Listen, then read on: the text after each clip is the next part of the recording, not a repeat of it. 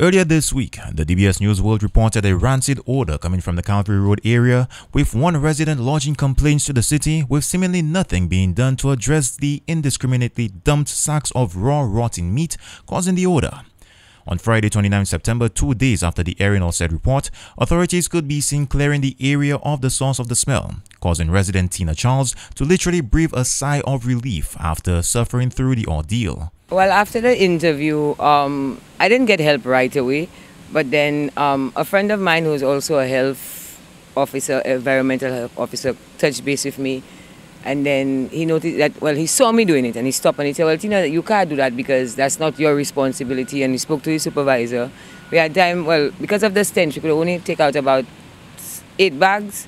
So far, we paid um, a truck to get it dumped.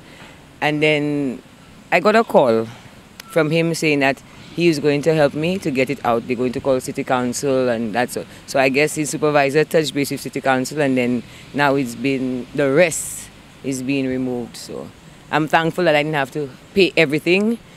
I did, but for health reasons, I'm thankful that I did. Charles urges the authorities to crack down on perpetrators of such actions, hopefully leading to a safer, more environmentally friendly St. Lucia. I think consumer affairs, whichever ministry that in charge of people that sell meats on Saturdays and these things should look into that because that amount of meat came from a company. That came, so it's, I don't know. I can't stop them because if you can't see them, you can't say it's them. But I guess all hope is it's out. My train will it'll not affect hopefully the public, the everybody else. We did our best. Let's see what goes from here. If it'll happen again, I hope it doesn't. But we'll see. Authorities continue to monitor the situation and urge individuals to desist from such practices. For the DBS News World, Jason Darius reporting.